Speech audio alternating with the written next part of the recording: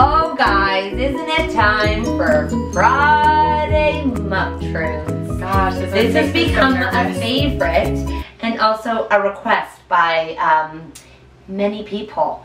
So, What's well- your mom truth today, Catherine? you know, I was in the shower yesterday and I happened to have ginormous boobs. I do. I do. Share, I, I'm pretty, share, share. I'm pretty sure I could feed a village right now if I wanted to. Um, Oh, I thought you were gonna say that you were in the shower and milk started coming out already. No! Oh god, if it did, I would have a panic attack because that would mean I would have to do the whole. Okay. Oh. And then I began to think, and you know, this is controversial, and we may get a lot of unfollowers for this, but you know, it's the truth, and this is how I feel. Um, I don't like breastfeeding. I did it. I won't say for how long. I did it for both kids. But I'm already thinking for this one, um, how I have anxiety around it, how I have guilt for not wanting to do it, how I, when people ask me questions about nursing, I'm like, uh, you know, I stay neutral on topic because I I don't um, judge other. I if I wish I wanted to do it. I wish I was like this is the best thing in the world. For me, it's not. It feels like I'm in breastfeeding jail.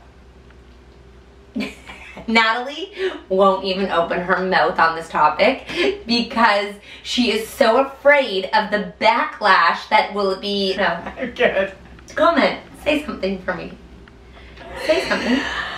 Um, I mean, I agree. I, I uh, a lot of the anxiety that I felt after um, having my babies was around the pressure of breastfeeding, and that's that's coming with that I had no problems breastfeeding. The milk Yes. flowed like water.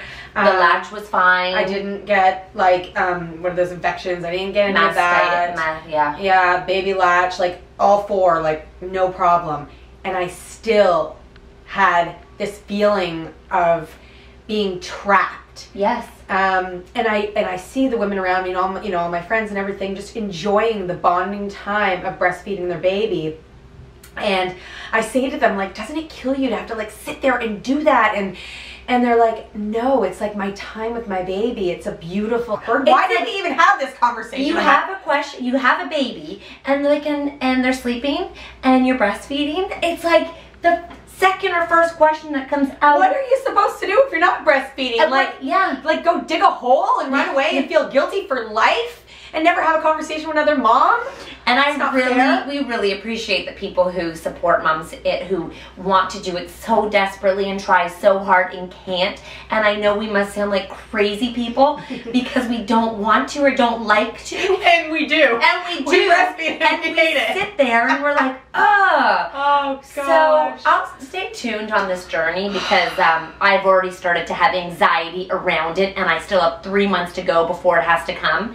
Um, thing. yeah, it just it's a conversation It's on my head. Anyone else? I, you know, I know it's a hot topic, but we would love your comments uh, below. Anybody feel like us? Can you keep it Or- kind though, because we're tr- we try to be a supportive community, and I know that um,